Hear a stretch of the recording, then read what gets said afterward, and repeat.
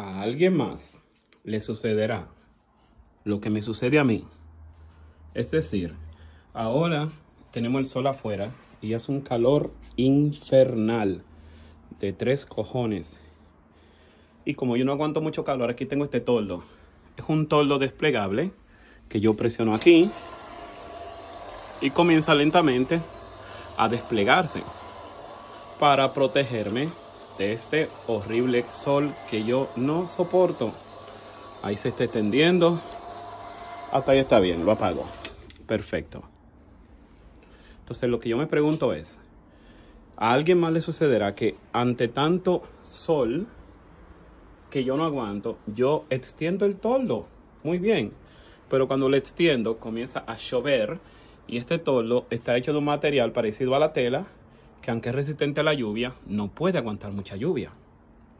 Mira, eso es un vecino de arriba que estaba preparándose una barbacoa y su barbacoa soltaba chispas y una chispa me cayó ahí.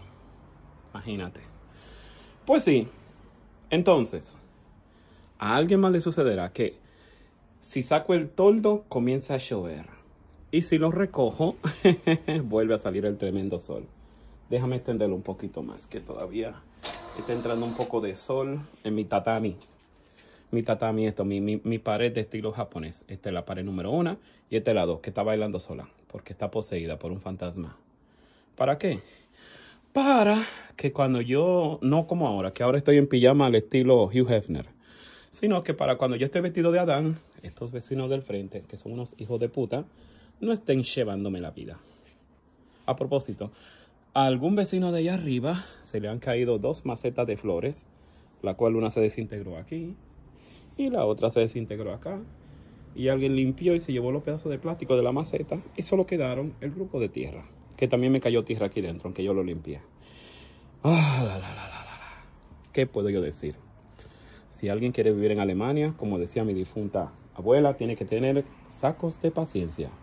Paciencia, saco. Este es mi bici entro aquí donde estoy totalmente protegido, totalmente protegido de las malas miradas de un vecino envidioso, casa de pajaritos. Así que mi gente se me cuidan. Este es uno de estos hermosos videos en la cual no saldrá mi fea cara. Se me cuida mi gente y ojalá que quede yo protegido contra el temible sol. Hasta subí mi ventilador, mira. Ahí está mi ventilador y mi filtro de aire. Les quiero Braulio y ya llevaron un poco de vida. Chao.